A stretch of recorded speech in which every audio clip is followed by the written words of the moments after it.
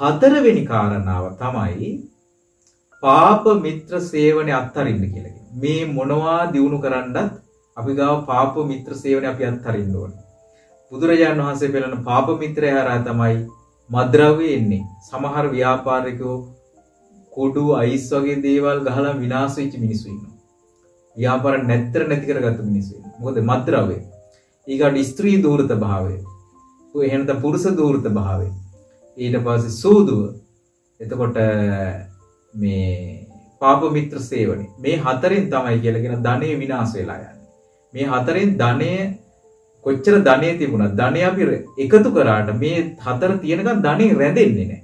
ධනෙ ගලාගෙන. ඒ නිසා පවිටු මිසුරන් ඇසුරු කරන්න එපා. ඇයි පවිටු මිසුරන් ඇසුරු කරන්න එපා කියලා කියන්නේ? අපි සාර්ථකත්වයේ නැති වෙන නිසා. අපේ දියුණුව වෙනුවෙන් තියෙන ජවයේ නැති වෙන නිසා. අපේ උද්‍යෝගය නැති වෙන නිසා.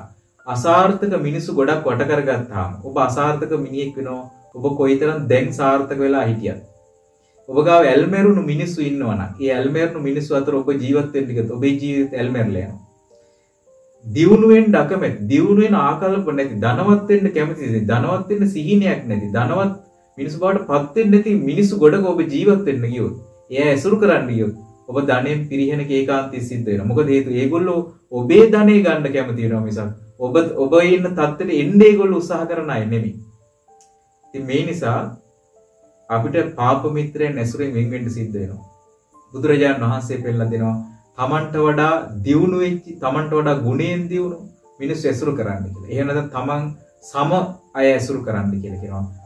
තමන්ට වඩා පහලින් ඉන්න අය ගැන කිසිම ඇසුරක් අවශ්‍ය නැහැ කියලා කියනවා. හැබැයි ඇසුරු කරනවා නම් අනුකම්පාවෙන් තමයි ඇසුරු කරන්න තියෙන කියලා කියනවා. ඉතින් ඒ නිසා තමන්ගේ දියුණුවට හානි වෙන, තමන්ගේ දියුණුවට විනාශ වෙන මිනිස්සු අපි දියුණු නම් පස්සේ අපිට ලැබෙනවා. එකතු වෙනවා. හැබැයි ඔබ කල්පනා කරන්න මේ මිනිස්සු ඇසුරු කිරීමෙන් අපිට තියෙන ඵලය මොකද්ද?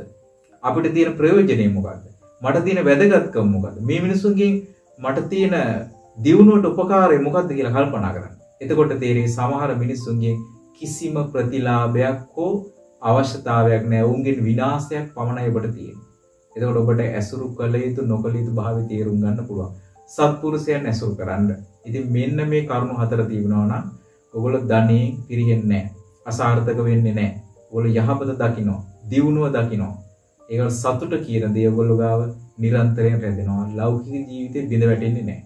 ඒ නිසා හැම දිනාටම මේ බුදුරජාණන් වහන්සේ දේශනා කරු මේ කරුණු පුරුදු පුහුණු කර ගැනීමට වාසනාව උදා වේවා කියලා අපි සෙත් පතනවා. හැම දිනාටම තිරුවන් සරණයි.